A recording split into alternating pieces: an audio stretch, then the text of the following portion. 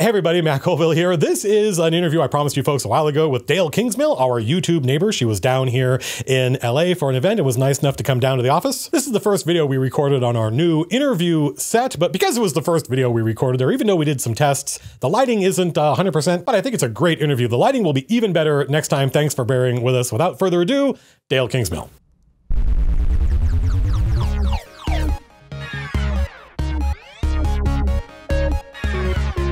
Welcome to the show, everybody. My guest is a, a writer, an actor, a uh, for Wolfgang, a director, a producer, probably technically, and also a YouTuber and a dungeon master. Dael Kingsmill joins us all the way from Australia. You came all the way out here for a whole big event happening in LA and we have sort of kidnapped you in order to ask you questions. Well, I mean, kidnapped me with me coming here myself. Correct. Yes. yes. That's that's the most fancy intro I've ever been given for anything. Really? Well, it won't be. It won't, I'm sure you have more fancy intros in your future. Mm. Uh, Wolfgang is the web series that you produced and acted in, and along with your sister wrote.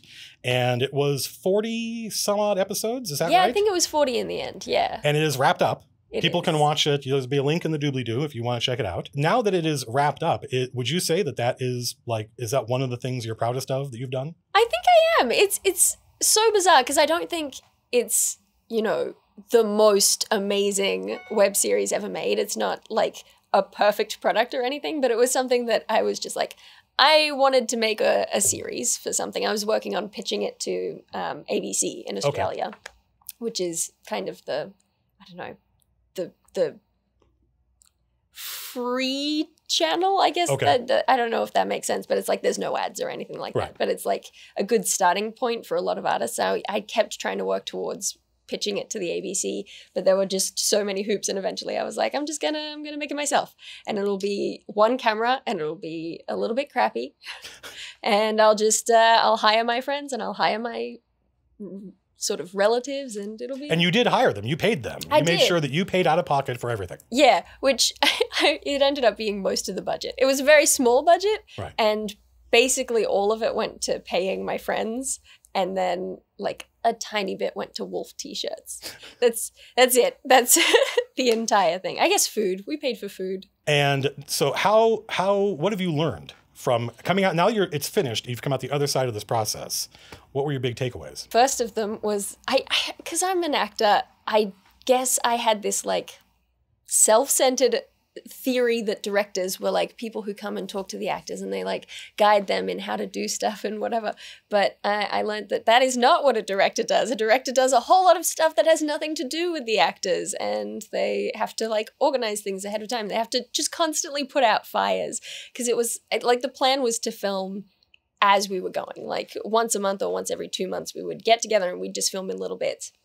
And then one of my cast members moved out here to to California, and I was like, oh, oh crap, okay, now we gotta we gotta get something together ahead of time. So we filmed like five months in advance oh. before she left, and then we planned uh, for her to come back by oh it was it was by april or something like that and then another actor moved to a different it was moved to new zealand and then it was all just like just constantly okay now i have to get everything written in two weeks time.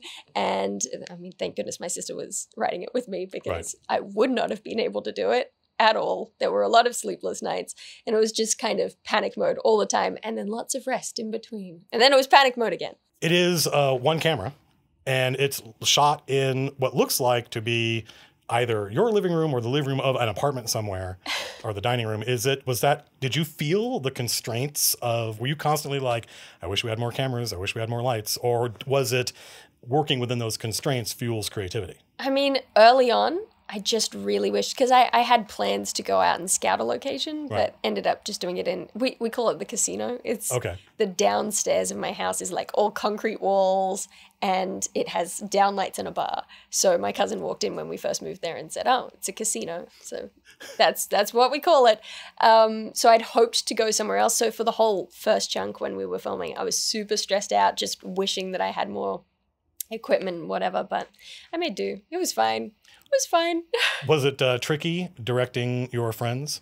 Oh, it's so I was really bad at it cuz cuz I spent the whole time being like, "Oh, yeah, I mean, maybe if we should just try it a different way." I wish I wish that I had decided at the beginning whether I was going to be a director or just let them do their own thing Right. because I ended up hovering kind of in the middle, which was really a tricky space to inhabit because How many of them are or aspire to be professional actors, and how many of them were just your friends and you roped them in? uh, both Natalie and Daniel are aspiring actors, uh, and I met them during my theatre degree. Right.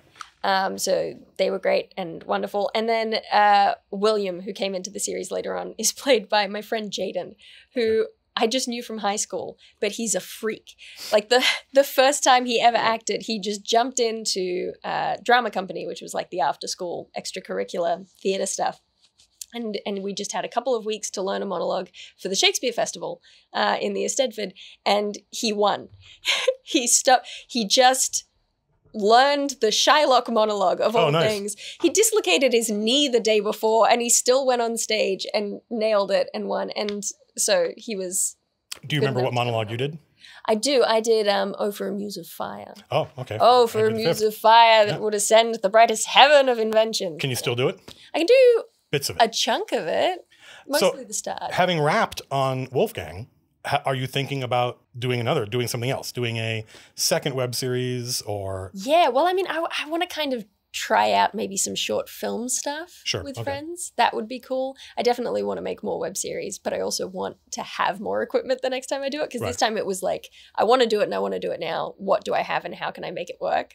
But if I was to do it again, I'd want to like actually invest in more equipment and stuff. I, I can I know that feeling. Yeah, it's one of those things where it's they tell you that just shoot with whatever you got, but it helps if the, what you got is nice. Yeah, It makes a difference. Uh, your theater, you have a degree in theater, I do. and uh, what you said you had a uh, you took a you actually took a board game class at one point related to your minor. Yeah, well, because I'm a double degree in theatre and English literature. Nice. Got it. Yeah, sure. art Yeah. student. Yeah. Um, and then partway through, I found out it, it was such a weird sequence of events because I was walking past um, a, a bunch of offices to get to my mum's office and just saw a door open and a ton of Doctor Who stuff inside. And I was like, oh, whose is that? That's really cool. And I mentioned it to mum and she said, oh, that'll be Chris. You'd like Chris. I'll, I'll introduce you. And so she introduced me to Chris. And then we were talking and he said that he was about to teach a board game class. I was like, you could there's a class on board games? And he said, yeah, designing board games. And I was like, that's amazing. So I got special permission to do that class, even though it was outside of my degree. And then I accidentally, it was like a third year class. And then I took another one. and then I did a second year class that was sort of related to those two. And then I took another second year class. And then I looked down and I realized I only had to take one more class. And it was like the intro one from first year. So I showed up with all these 18 year olds who were fresh out of high Nice. school. And I was like, well, I know everything. So So uh, why? How come? Why not make board games? It seems like you spent all the time to figure it out. I mean, I would love to make board games. I Have you thought? Of, have you prototyped anything? Do you have any ideas? I do I do lots of little bits of prototyping. I tend to get hyperfixated and then move on to the next thing, Sure. which is so counterproductive. But there's like I can't help it. I played recently the um the Buffy board game with my Okay. friends, and as we were sitting there, they would be like, "Oh man, I wish this was a little bit different." I was like, "I think I can fix that. I think I can fix the movement mechanics. I think I can." That's where it starts, right? Yeah. and so I ended up taking photos of the rule book and then making notes as I was going home, just going, I, "I'm gonna fix this. I'm gonna And did house you? rule this." Um, I'm halfway through. Fair enough. Actually, speaking of Buffy, like Buffy, like uh, Wolfgang, sort of seems very. You know, if you took what we do in the shadows and matched it up with Buffy, were those inspirations? Were there Absolutely. were there direct inspirations? I don't know whether they were direct inspiration. The, the biggest inspiration was um, it was based on a stupid game my friends and I played when we were in preschool. Nice. Um, I was the leader of the werewolf gang because I was a very cool six year old. um, and so it's just been a thing in the back of my head that I, I, I love werewolves. I don't know. I'm a dork. I'm a geek. This is what it's about. Um, and then as I grew up, I love Buffy. I love what we do in the shadows, being human, just all Oh, sure. these these little, especially the comedies that work with the supernatural. I really like. And so eventually, I just kept thinking about this concept of it was all based around I because the game was it's it's real dumb. Just for the record, real okay, dumb. let's hear it. There were no rules or anything. It was just Well- we pretended to be werewolves who shared a house and there was a couch in the house. That was Amadeus, it. house, yeah. That's the entire premise of the of the werewolf gang. And so that was the premise of the show. And I thought it'd be funny to have something where it was just the everyday lives of werewolves when they're not werewolves. I mean, we live in that era where no good idea goes unexplored. Yeah. So you have an idea and you're like, this is going to stick around until Yeah, eventually someone invents YouTube, and then I can. Finally. Yeah, where when did where did the spark to become an actor come from? When when was when was the first was it a performance or a film that you Oh, saw that made you geez. go, I want to do that? Well, I mean, I started high school and um, and had drama classes there, and I liked it because I was just a precocious, like annoying, cocky, like I was that kid, and I could remember lines, and that was nice. And then my family moved north, so I grew up in like a rural farming town. Uh, well, I'm not going to try to, uh, you know, uh, pretend like that didn't happen. We had a little lighting, we had a little lighting problem, uh, and now we're back. Uh, we were talking about you becoming an actor, being a precocious theater student in high school. So it was all the way into high school, and you had not known that you wanted to be an actor. Yeah, well, I mean, I did I did Tournament of the Minds, which I don't know if they have it here. They might, but we don't call it that. What is it? it's Tom is like it's a competition kind of where you're given like usually a social issue or whatever. It's got a couple of categories. It's got maths and engineering. oh, so it's got- like uh, academic decathlon. I think is. kind of yeah, but um, you're given a problem and you have to solve it in the form of a play. Oh wow. Kind of, and so and you're all like kids, but you have to write the script yourself and make the costumes yourself, and you've Wow. got like a four by four square meter zone in which you do stuff. And I I sort of lucked my way into doing that when I was in primary school, like third grade, and on to sixth grade.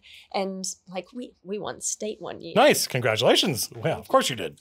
Um, but uh, yeah, it was it was this weird little thing where it wasn't really acting. It was honestly everyone stands in a line, and then when it's your time to talk, you step forward and you say. But I remember my first ever line. Really? My first ever line was, "But son, being an artist is the worst occupation you can be." I would agree with that. I think that's probably accurate. nice. oh, it was good. It was good stuff. I had a fake beard. It was. Mm. And what at that point was there any spark of like, oh, I like being on stage, or I like, I liked the attention, definitely. Okay, sure. I don't know whether I liked acting at the time. I was more into writing back then. But um, then when we moved north to Wollongong, because I grew up in sort of a rural farming town, uh, so there wasn't a whole lot of acting happening Sure. necessarily. But then as we were moving north, mum sort of said, we, We've got to find a new high school for you. Do you want to go? There's Smiths Hill, which is the sort of academic high school where you have to take an exam to get in. And I was so against that idea. I was like, no, I refuse. They should just let people go to schools. But I was fine with the idea of auditioning for the performing arts high school. That was fine. I guess people who weren't performing arts could still go to that school, but yeah. So I, I was like, yeah, I'll do I'll do acting at the at the other school instead. And I auditioned and I got in. And probably a year after starting there, I went, oh wait, no, I actually I actually like this and I actually want to like learn to be better at it rather than just coasting where I am. I wanted to actually take on advice from the teachers, which was very new to me. And you did. You went to. You ultimately went to university and got a degree. What was that experience like? What did you learn? Well, I actually hated my theater degree. I I feel like I love my cohorts. Sure. From there, I made a lot of great friends. Yeah. But I A was big part really, of school is the friends you make. Yeah, and I, I was just super frustrated with the teaching because it was kind of a lot of uh, teachers from the 80s who could offer lots of valuable stuff, and I loved those bits and pieces, but most of the time they were kind of just pushing how they succeeded in acting in the Got it. 80s. And so a lot of it was very avant garde. They were very into Oh. sort of shock value and whatever. And I was like, this isn't really what I'm interested in doing. And I, I decided to try and do it myself and become an entertainer myself. And I thought, I'll make a YouTube channel. It was out of spite. It was out of spite that I made that channel. And then it worked by accident. Uh, so, did you in in in when you were at university? Did you have an idea of a career path? Did you have an idea of how am I going to translate this into either making a living or doing it full time? None whatsoever. None whatsoever. I think I was still answering at the time. Lots of people would say, What do you want to do? And just so that they would stop asking questions, I would say, Oh, I'll study the theatre and then I'll get an education masters and I'll teach drama. Oh, really? And okay, I never was wanted to do that. that was just an answer you but gave it was people a great answer to give people.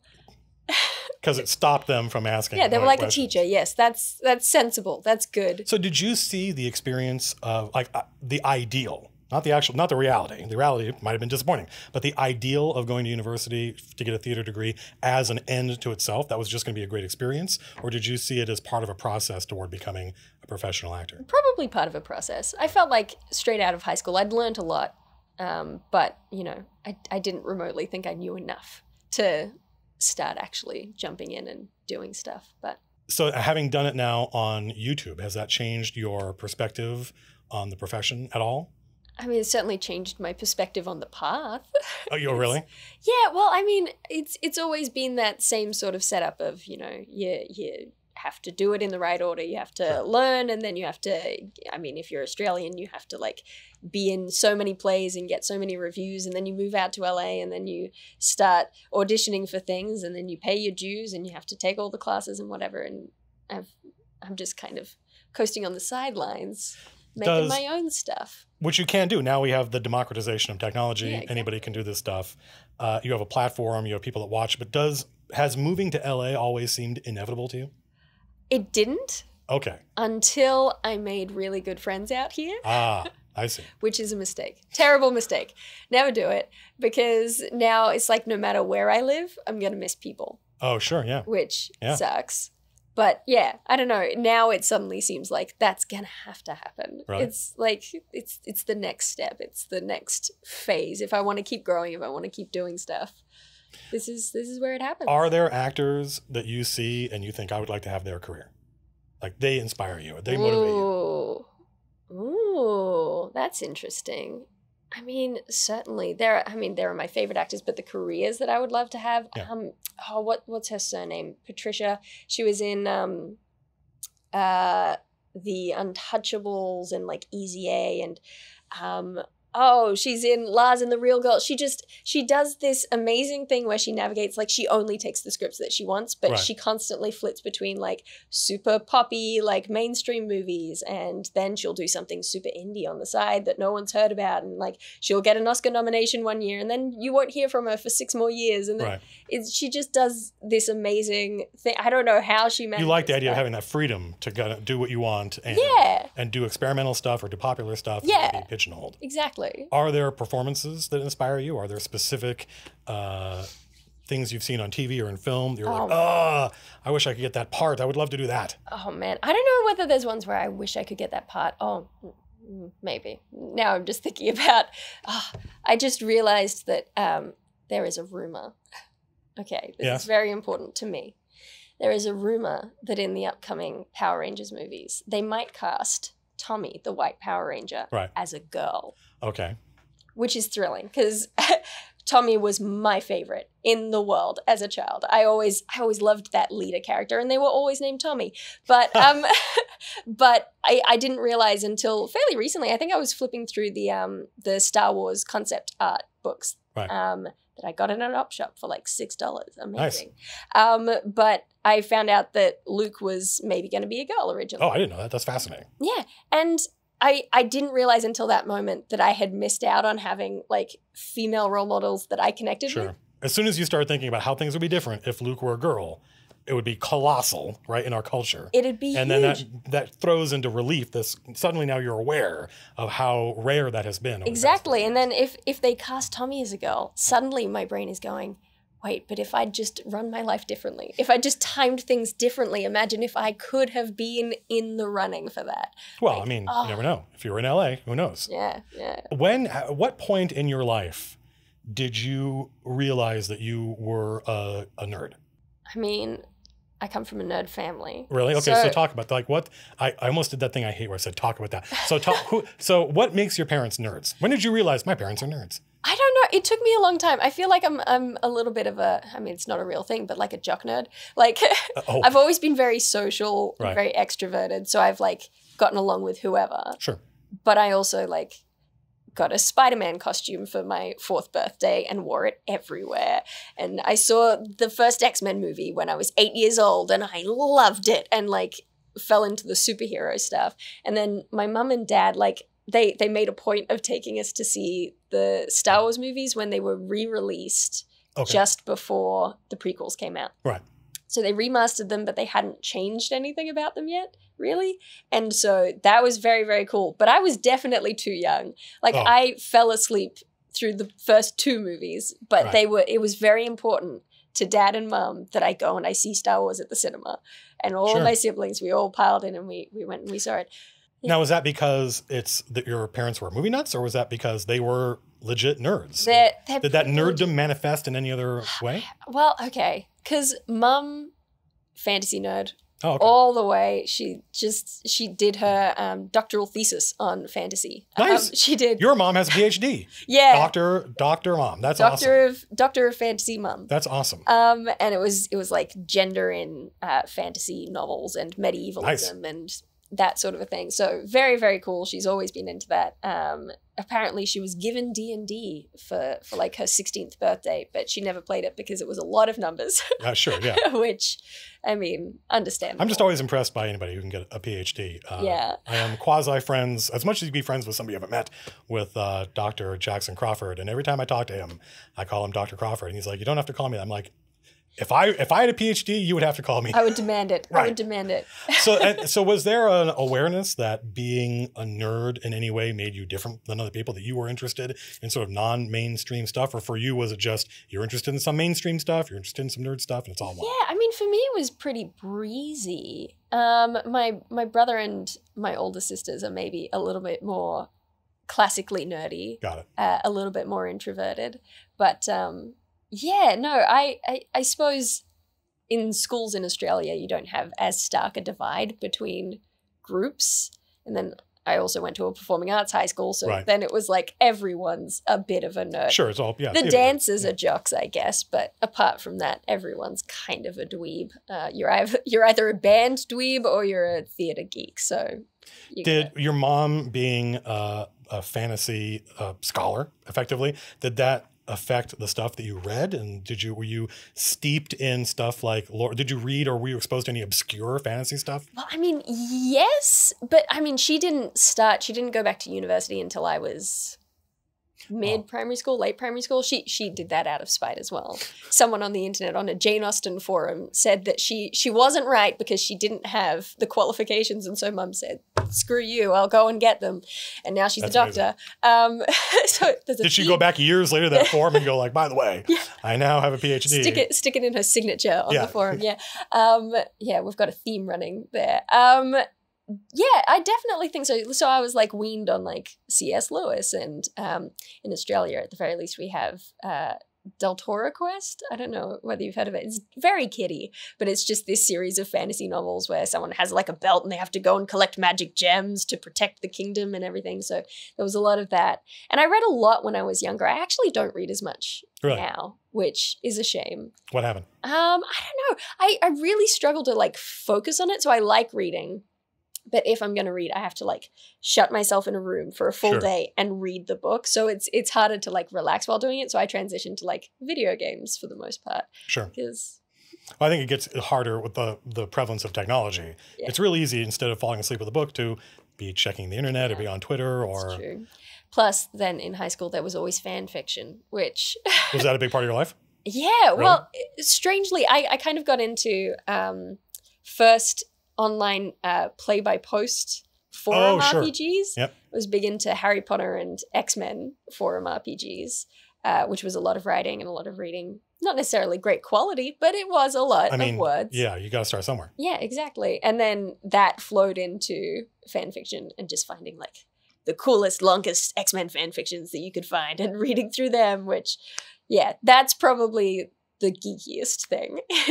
Yeah, that's pretty nerdy. Uh, you and your sister wrote Wolfgang. yes. How much of how much of the production of Wolfgang? How much do you th- think of yourself as a writer as opposed to an actor, or do you have those divisions, those labels in your head? I mean, I, I think of myself as a writer much less now. Okay, And I think it's because I like dialogue. I like writing Sure. dialogue. I find that really fun and pretty like breezy for me.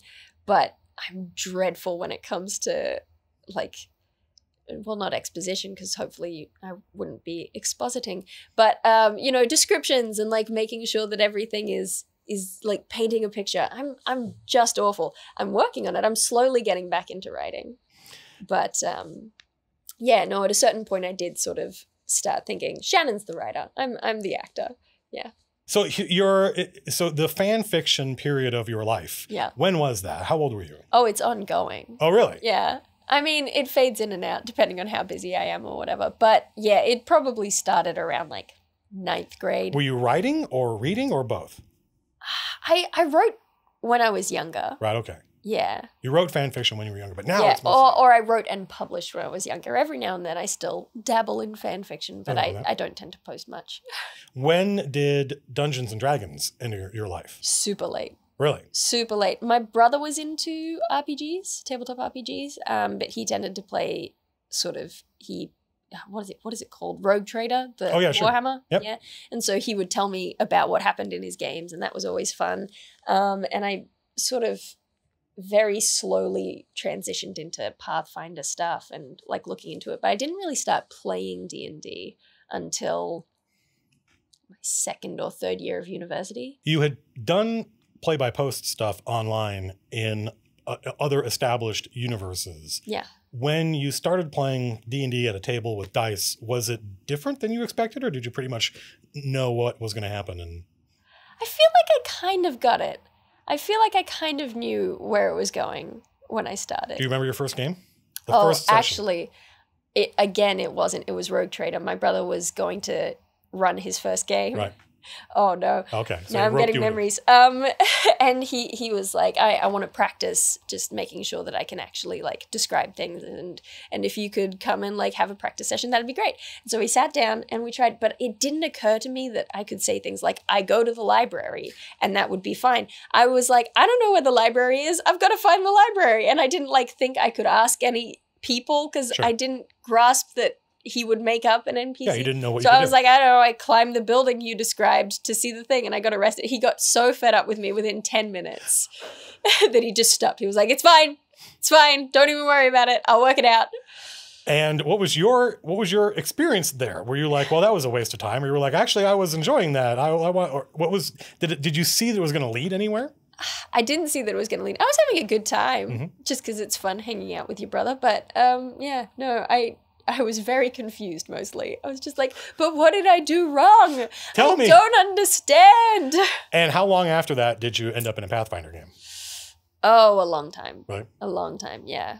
And what was your experience there? Were you like, yeah, this is cool, or were you like, uh, Yeah, it was really cool. It was um uh, my friend Eric was running a game um at university with a couple of his friends. It was Okay. very it was very um different to my roots in forum play because they were engineering and science students who were all there to min max Yep. and to do the most damage and I was there like, "Ah, I'm going to do this deliberately not good thing because I think that that's what I would do." And were you aware at the time that there was pr- maybe a different way to play that would be less uh, science and engineering nerds and more maybe theater and yeah, I'd, literature nerds? I'd heard talk. I'd heard tell. So were you aware, like, uh, like there maybe there's a better group for me, or maybe there's another way to play, Yeah. or did you, or were you? This is the experience. I guess I must soldier Well. I, I ended up leaving that group uh, only like six sessions in or something because uni got busy and everything was Sure, tricky. So I it, it I basically didn't play again until I was running a game because And yeah, okay. So that's the next question: is when did you start DMing? When did you get behind the screen? yeah, it was like a year after that. So that was probably third year university, something like So that. So you played Rogue Trader with your brother. Yeah. And my it, my my my interpretation of what you said is played Rogue Trader with your brother. Years go by. Yeah. You jump into a Pathfinder game with a bunch of science nerds. Yeah. And then you're like, screw it, I'm just going to run a game myself. yeah. Did it feel like dest like I'm just this is where I was I'm going to end up doing this anyway. I mean, kind of, because it was, I knew that I had friends in my theater degree who wanted to play. We Ah. talked about it before. We Mm. were like, this looks like fun. We should do this thing. But yeah, it, it was, it became very clear to me that no one was going to run the game. It was going to have to be you. So I had to do it. So, but was was that it, or was there a desire to run? Was there a desire to be the person behind the screen, or was there a desire to play? And No one else is going to do it. I mean, I think there was definitely some desire to run it as well because I'm a little bit of a control freak sometimes. And it's it's good to be the one who gets to make the call. Do you get frustrated playing in other DMs games? Um, not really. I've finally actually got a game that I'm playing in rather than running. Right. And it's it's kind of nice. It's it's chill. As long as I can sit back and just go, well, What What would you say is the primary draw of being the dungeon master? What is it? What is your in? Is it world building? Is it uh, making playing NPCs? Is it the, the plot, the adventure? I don't know. It might be the world building. I, I just feel like I've said before that I think the curse of the dungeon master is that the only way to play the game that you want to play in is to run it yourself Sure. because every DM is going to run it differently. So if I want to play this particular level of like grit to fantasy to whatever, then that's what I'm going to have to do and I'm going to have to build that myself and make sure that it happens. If you were going to choose, if you had the opportunity, uh, genie shows up and says, "I'm going to grant you this wish. You can play D and D from now on, or the system of your choice. doesn't have to be D and D, but you never you're going to have a great DM, but you're never going to get to run again, or Oh, or you get to you're going to have amazing players, but you're going to be a DM and you're never going to run again. Which would it be? oh, gee, that's a bad genie. Well, I mean, Genies are this meant to the give genie you three open-ended wishes. Yeah, unfortunately, this is the this is the genie you got. It's the cut. It's the cut Okay. rate. oh, It's the oh, Gary no. Gygax genie. Can never run again. Can never play. both again. the pl- if you're if you're the DM, they're going to be amazing players. If you're a player, it's going to be a great DM. But you're going to be stuck with one or the other. I don't think I could stop tinkering with things. I think I'd have to DM. Right. You have to get behind the screen. I think I'd have to. Yeah. And do you find that there is any part of being a dungeon master that factors into writing and acting? Do you feel like there's a feedback loop that happens? Yeah, well, ever- I mean, I, I feel like that happens with any kind of art. Like, no matter what it is, Sure. it just feeds into everything as you go through. Do you think about campaigns that you want to run? Do you have other systems that you'd want to play? I do. that, that was the weirdest tone of voice that I could have picked, possibly. Well, I mean, it seems like there is probably a Uh, story there. I mean, a lot of what I'm doing at the moment, I keep. It's it's so stupid, but I I keep uh, sort of looking at the systems that are available for. Maybe it's going back to my roots again for like um, pre-existing franchises or whatever. So like look for a Buffy game or Sure. whatever, Or like, and yeah. then being frustrated that it doesn't like feel like Buffy, and so I write my own set of rules to feel like Buffy. Yeah. Um. So you know, at this point, I'm I'm trying to like tie up loose ends with those things and then make my friends play those so that I can see what's wrong with them and then keep going. And how how close are you to doing that? Like when are we when when are you going to run your Buffy game? I mean, hopefully sooner rather than later. Right. I'm, I'm at the phase where I'm having to actually write everything out so that it's something people could read, read. Yeah. Yeah. which is just head. the worst part. very ah, tedious. ah, now I think I sense uh, the providence of a tweet. You tweeted at me when you were like, "How do you organize information so that people That can read it?" That is exactly it. now, now I get it because you're in that point of this is terrible. I can't just It's like I know all the things, but Yeah. I the That's no person good, reading them doesn't. You That's I'm just- not going to be there to you can't just say them. trust me. I know what I'm I know what I'm doing. Exactly. And then and then run the game. Are you happy with uh, D and D as a as a game? Is there do you seek out other are there other systems that attract you that you like? Oh, I like this mechanic or Yeah, I mean, there's lots of stuff that I'm interested in. I really love the character creation stuff from like Kids on Bikes, oh cool. Yeah. um, and a lot of games that are coming out now. Um, D and D though, like fifth edition at the very least, I'm so impressed with the simplicity that it's taken. Yeah. Like coming from Pathfinder, especially Oh, sure. where it's all yeah. floating modifiers, Yep. and I was already like simplifying them to run the game because I was like, I described it as a I game where remember this. if you miss, just spend five minutes thinking, and you'll be able to come up with another bonus you forgot about. And yeah um and so coming in with like i mean sure stuff like um like advantage disadvantages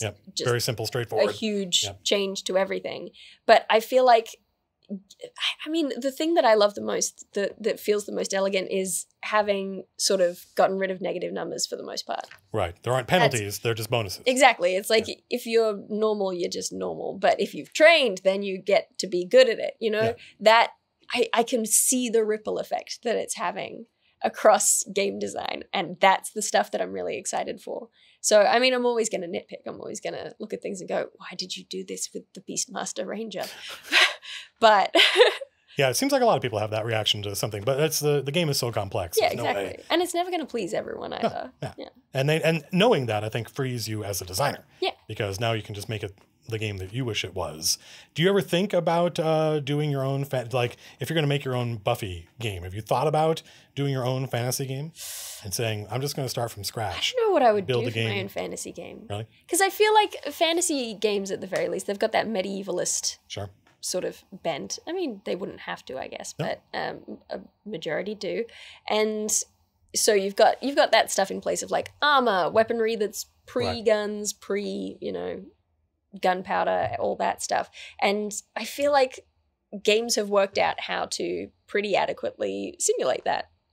And yeah, I feel like the the areas where I get most caught up is trying to work out, okay, but then if you're making Buffy, if you're making a modern setting, if you're making whatever, you're not wearing armor. So what Right. do you do instead of having an armor class? What do you do instead of, you know?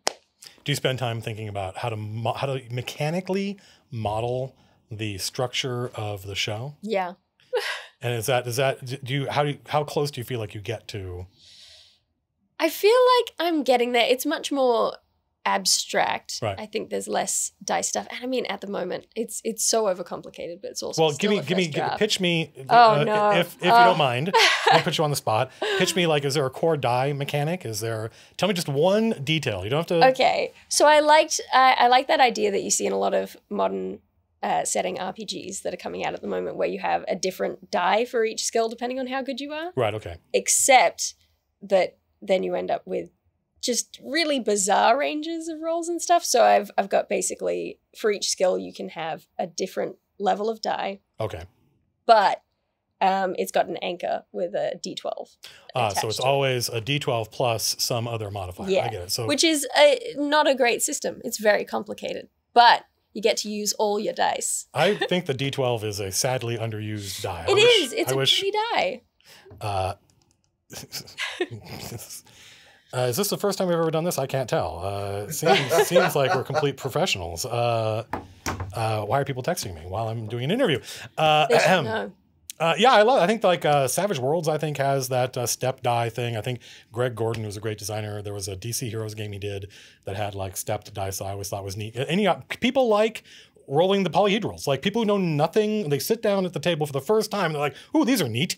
And right there, they like rolling those dice. So Yeah. don't And don't. it's always so sad to me that like you make a character and you've made your your rogue or whatever. Yeah. But then you're limited to you've got your D20 that you roll all the time. Yep. You've got your D4s Yep. for your dagger probably, and then you've got a D6 sneak if you're doing your that's it. sneak attack, and that's it. You You're never, never use the a other dice. D12. You never. It's yeah, just it's so sad. completely agree. Oh man, and I actually maybe it, again was out of spite. I, the, in in the system I'm working on, the D20 basically doesn't Hardly get used. used. I, I think I have it as basically a spin down life. oh, okay, like a life tracker Yeah. or something like that. Yeah, that, I get that. Uh, where do you? Suck at D20. Do you? I mean, it's it's doing okay. I think the D20 is popular enough that it can stand to be, you know, sidelined in some games. Uh, what? Where does the interest in mythology come from? A substantive percentage of a YouTube channel is myth and mythology, and a combination. Like you come at it from a couple different angles. You not only do direct to camera, I'm going to tell you the story, but you also like act out stories for your your. It seems like your mom, for your relatives, and and you film that. And so it seems like myth is a huge part of your life. Is it a hobby? Is it something that you ever thought about making a living out of? You took a, you have a literature degree. I assume that there's some overlap there. I, I do I do have a literature. So where does that where does the mythology interest come from? I, I honestly can't quite remember. I think it might have been the Age of Mythology computer games, Okay. which again, I, um, my youngest sister is showing right now because again, my brother would be playing Right. and I'd be hanging around be in the background watching him play. He also would stop and read every sort of index entry. Did he read it out So- loud? No, he Okay. did not. Oh, I so I just had to sit there. You're I don't think I hostage. intended to like, read it. I wanted to him to keep playing, but he had it open, so it was all that was there. So I read it, as well read it. and then he would turn it off before I could finish and whatever. But um, and I can remember when I was relatively young. Mum claims she didn't, but I can remember her telling me some stories from Greek mythology. Really? She says that that doesn't make sense, but I remember her telling me the story of Narcissus becoming the daffodil. Right. How does that turn into? It, there, it seems like there's a huge gulf Yeah. between playing uh, Age of Mythology, or it was Age of Empires? What was the? It was Age of Mythology, Age of but it Mythology. was part of the Age of Empires. Okay, that makes sense. W- How do we get from there to your what seems to me to be you have a really deep and uh, broad understanding of myth? I I don't know, and it was it was so crazy because um, what is Uh, there's a frog in It's my throat. it's all the smog we have here in in LA. That's what it is. That's a problem. Yeah. Well, I should never have come here. No, but um, when I started my YouTube channel, I was looking into Right. doing it, and I saw um, sort of an announcement on the Geek and Sundry main Yep. channel that said, "We're, we're looking for vloggers." vloggers. Do you have a special interest? You can make a vlog." And I was like, "Well, the timing's right. I may as well try." And I was trying to think of what my geeky subject was. I Right. didn't know what it was, and then I caught myself. I was talking to a friend over lunch at uni. And I just was like, and that reminds me of the story of Sisyphus. And you know, it's so bizarre that blah, blah, blah. And I, t- I told this whole thing and I knew all these bizarre details about like Aeolus stealing the cows and whatever. And afterwards, she she kept going, mm-hmm, yep, great, yep, all right, okay. And then afterwards, I went, oh wait, Yeah, I, I this is it. Uh, So, was there if there hadn't been the Geek and Sundry? So, Geek and Sundry was looking for content. They were looking for people, and because it's their videos, you could live anywhere. You don't have to be in LA. And they found you, and you produced a bunch of uh, Greek mythology, specifically, I think Greek mythology yeah. videos for them uh, from your home. And w- w- would that have happened on its own without Geek and Sundry? Would you have ended up on YouTube without that impetus? I don't know because I wouldn't have been doing the Greek mythology videos. I think having that one thing and then also having a, a contract that made me come out with a new it. video every Yeah. two weeks. But um, yeah, I definitely had like the the impetus to make YouTube videos, but I don't know if it would have lasted. I don't know Oh, really? if I would have had an idea of what to make. I don't know if I would have. Ah, so them coming along and saying, "You, you're the one who will be doing this content." yeah. Now you're on the hook, and you got to do it. yeah. And so that kind of And I did that for like two years. Wow, And okay. that got me in the habit. so that was good. And so how let's so now we can talk we can transition into talking. Well, no, hang on. I'm still curious about mythology because I still feel as though there's a gulf between I played Age of Mythology and now I can sit here at university at the cafeteria and talk for half an hour about uh, There's Sisyphus. a gulf in my memory. Like, how do we get from one to the other? There must have been books you read. I, I did. I know that. Um, I I read them. I don't remember them. yeah, exactly. I know that at least once I got a book award for doing well academically in primary school. We got to like take a trip to the bookstore. Yeah. And you you had like a budget. Oh wow, okay. pick whatever cool. book you wanted within that budget, and I found a, a shiny like gold and blue mythology book. And oh, it was technically mythical creatures. I think that's Okay. what I tended to look into was books of mythical creatures like bestia bestiaries and whatever. But um, yeah, I think just slowly over time, bits of it got stuck in my brain. Oh, okay. So it's just something you were accumulating slowly over time. Yeah. There wasn't a deep dive into like Bulfinch's mythology or Yeah, I don't remember any moments where I was like, I love this and I Oh, need to know more about it. I just one day was suddenly aware of how much I knew. how much knowledge you had accumulated. Yeah. And now it's on YouTube. Now yeah, you've created and I mean, I still do the research before every video, so Right. now I just get more and more details, and I'm like, oh, suddenly I know who wrote this version of the Oh, story, nice. and suddenly I know different versions, and Is it mostly for you the Greek stories? Because I know you also know a lot about the Egyptian mythology. well, Uh, a lot is strong. Well, more than me probably. I know bits. Uh, where what is it about the Greek myths in particular that you find I don't know. attractive? I, I think it's I mean, because like I said, I, I was growing up on like C.S. Lewis and stuff. Right. You've got this this thing where Greek mythology was just carried through Sure. because it gets carried through into the Roman, the Romans carry it through to Yeah. England, and then it gets into the Shakespeare, and then it gets into the and it's just like this classical canon that's kind of embedded in everything. Sure. And so then just just hearing like references to things and being like, oh, I wonder what that is, or I know what that is. Or, So it's purely. It sounds like it's purely. Uh, uh, idiosyncratic like where your interest in mythology has led you hasn't been systematic you yeah, never thought about like i'm gonna go spend a, a month reading about the norse myths or Yeah, well, I mean, there are ones that grab me. So, like, I'm a big fan of the prose edda personally okay over the poetic edda. You know, people can come at me, but that's my preference.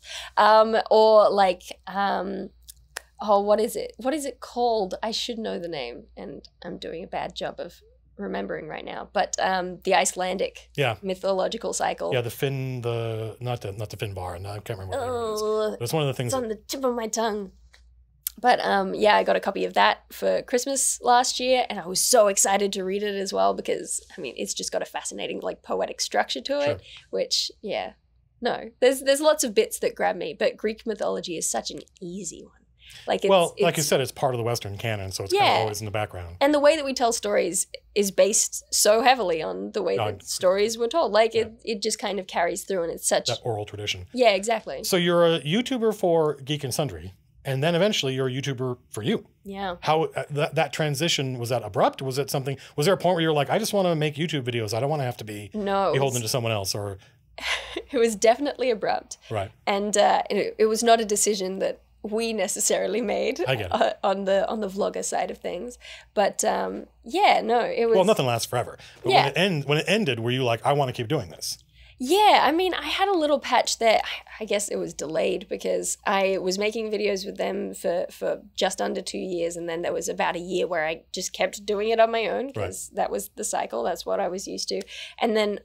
2016 around abouts i just kind of stopped making videos for the Okay. most part and had this this whole year where i was like do i want to do this is this actually like i'm getting real tired of editing because it's the worst thing in the world um I, I know how you feel.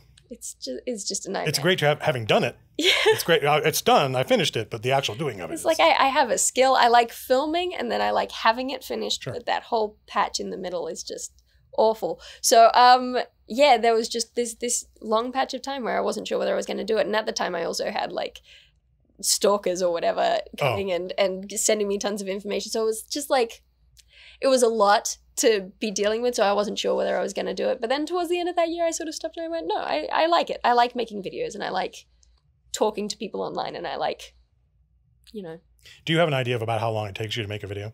Like when you're talking to camera, you record for this long and then Yeah. you edit it down. How long do you go on average?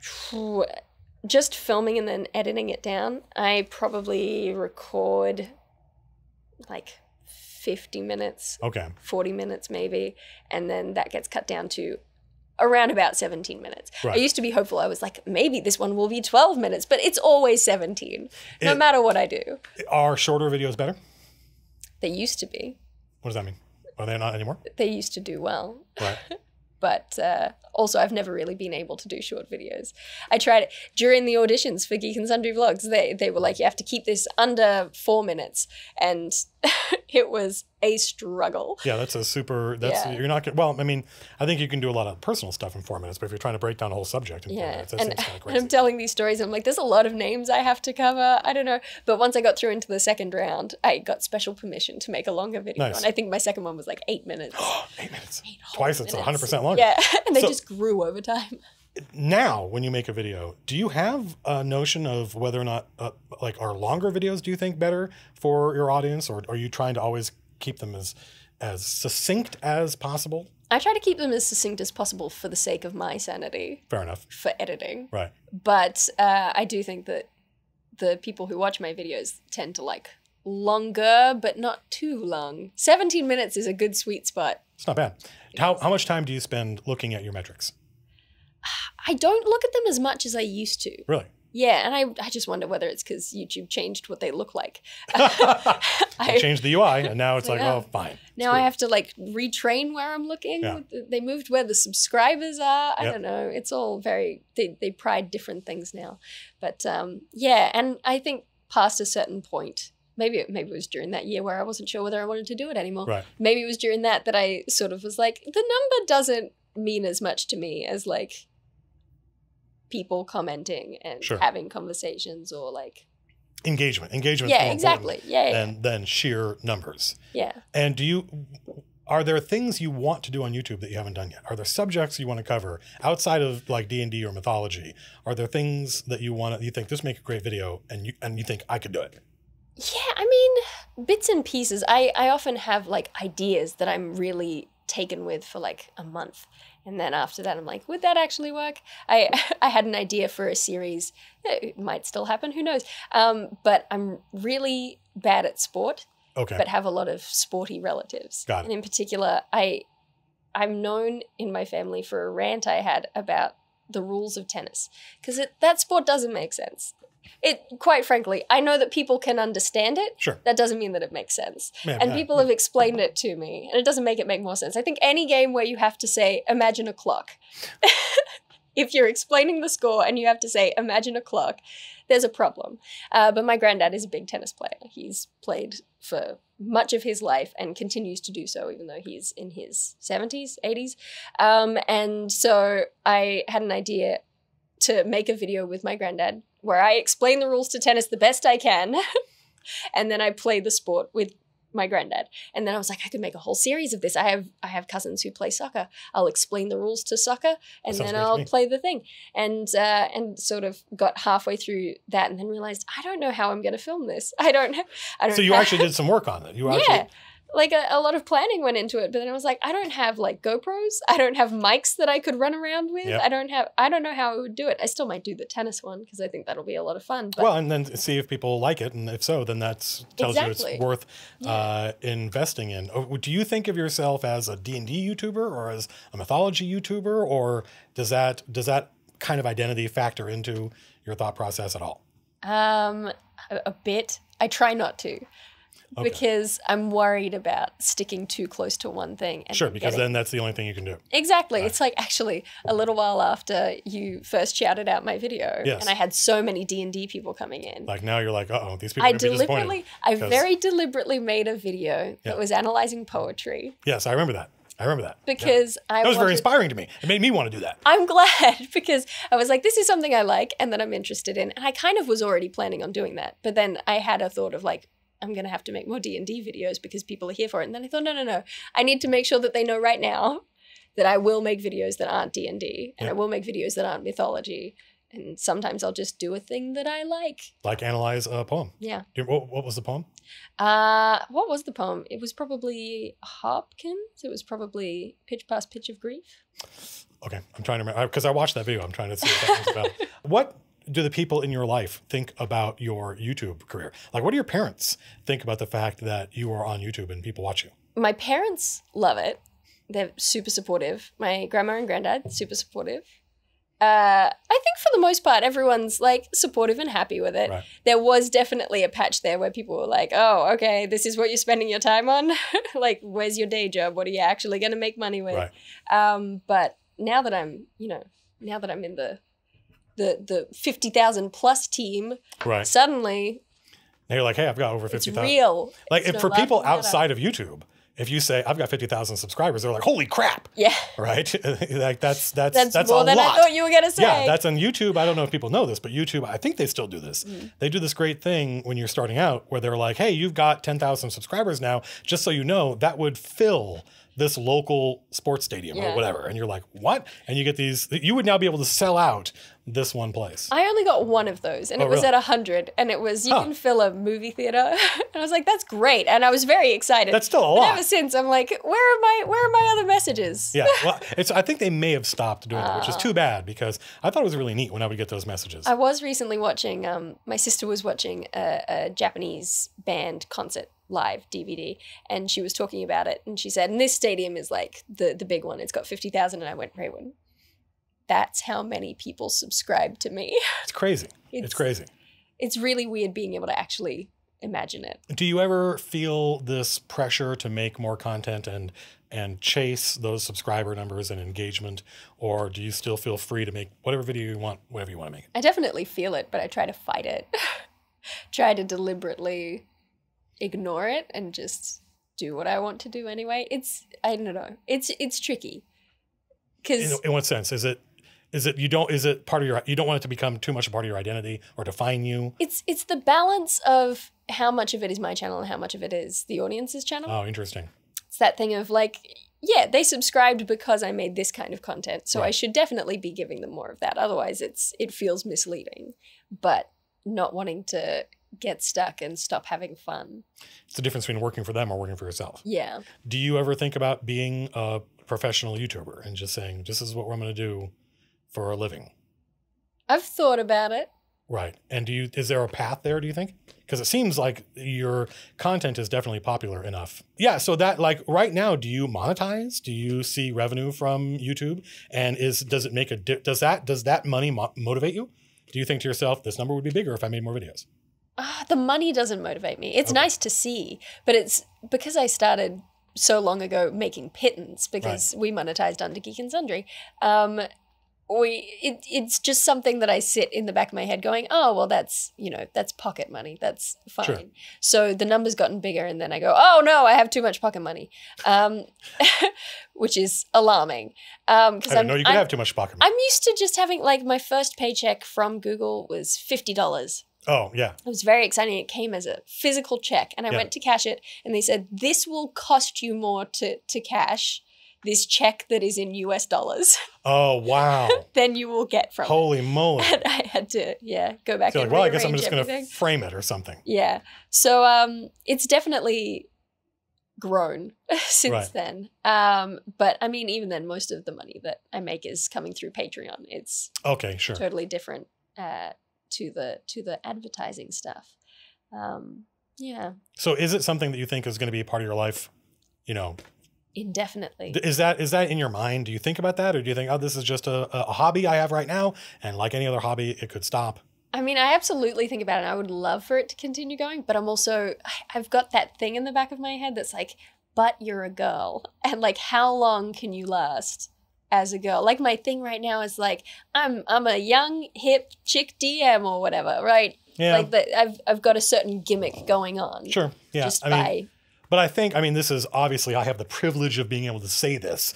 I think that your gimmick is direct to camera authenticity experience and that the stuff you're saying because there are there are lots of YouTubers I follow who are like Franz Lab who are you know obviously not making any kind of concession to the fact that they're a woman on YouTube and they have successful channels. Yeah. I think that's the brilliance of YouTube is that it doesn't have to be it can be but it doesn't have to be that toxic internet thing where if you're a, if you're a girl you're doomed. It does seem as though yeah. things are getting better and there's more of a democratization of And certainly to a degree, this is just like my quarter life crisis speaking. Like you're aging.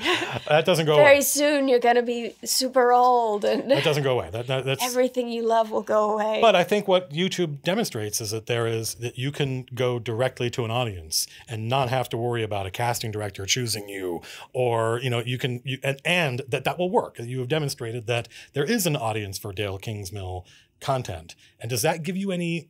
Does that give you more relief or more stress? Because now there's an audience waiting for you. um, I think more relief. Yeah. Okay. I've been really lucky when it comes to like the audience lottery. Right. I've I've had like really cool people kind of looking out for me the whole way, and yeah, Do you know off the top of your head what your most popular video is?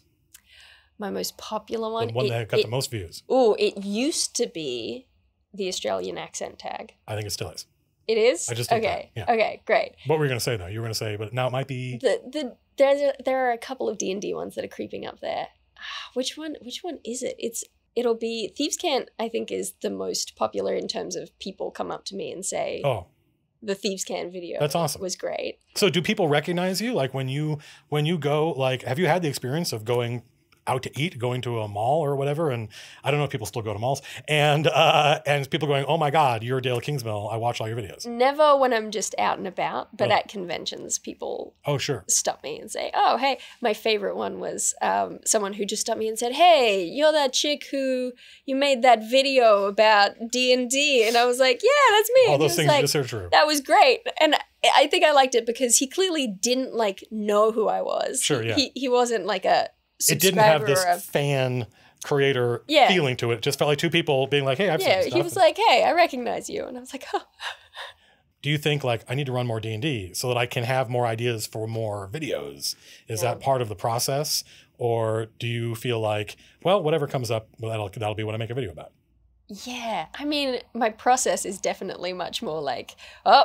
Oh no! It's already been a week. Time to time to make another video. So you're what do I conscious got? of the fact that time is passing, and what do I have? Where are my notes? Have I come up with any new little things for D and D yet? No, I'm not done with that. Okay, well, what stories are there that I can tell? What's do you have a list of ideas for videos? I did. And you, then you made all those videos. yep. And they're like, well, now what? And I didn't make another list, and I should have. short questions before the end. Uh, what is your favorite 1957 movie starring Spencer Tracy and Audrey Hepburn? I'm gonna say desk set. Uncertain of. Okay, great. Correct. uh, favorite Greek hero whose name begins with P. Uh, Perseus. Correct. Have Uh, you done research? What's happening? I mean, look, this is we're professionals, eh? Uh, all right, so I don't, so I don't stress you out. What? Uh, there's not necessarily a right answer to this one. What is the most recent movie that you saw in a theater, Uh, Endgame. And what did you think of Endgame? I really liked it. I cried a lot. Really? I cried. lots of places a to cry. A lot. Yeah. Can you remember when? Cried at what? Oh, so many bits. Um, I cried opening scene. Wait, but spoilers though. Well, I mean, it's too late. This already passed the. There was an official. There was uh, an embargo, yep. and now we're okay. Um, Hawkeye's family at Yep, the very yep. beginning. That felt like watching Logan again. That was just yeah, like sure. Yeah, that had that same. I felt like the hard thing. The when I saw that, I thought, really, what they should do is just have two hours of what happens right after that, because that story of what's happening to that guy, just literally in the next two hours, is more interesting. I thought, emo- like emotionally and as far as character goes, than anything we are going to see. But yeah, it's hard. It's hard to pull that stuff. It was it was a great way to start the Yeah. movie. It really was. Um, and then I cried at Nebula and Tony being friends on the spaceship. Oh yeah. Okay. Sure. Yeah. Um, well, there's a moment where he says to her, like, "Okay, good job, you won," and they're like, there's this sense, like, has anyone ever said that to her before, ever? Right? Oh my gosh, Nebula's whole storyline Yeah. was pro- probably my favorite thing throughout the movie. I really wanted her to get the kill on Thanos. Oh, really? Well, yeah. I mean, I it feel makes like a lot of sense. it. Yeah. but uh, but also the meta. Like I, I feel like a whole lot of the the last third of the film Right. was obviously speaking directly to the audience rather than caring so much about its internal story. Sure. So like having having Tony say I am Iron Man and Yep. kill Thanos, that was for the audience. That was Yeah. that was for them who watched the first Iron Man movie and came Yep. all the way through, rather than actually being about Rather than what's best for the story. Yeah, exactly. Yeah, I think there's also we see a lot of them. They have the luxury of knowing there's going to be more movies after this. Yeah. Where a lot of people making movies don't have that. Yeah. So they can have Captain Marvel have like two lines of dialogue, and everyone's like, "Are you serious?" And they're like, "They know. Don't worry." it's There's- fine. Captain Marvel's going to be a big deal in the next group of movies.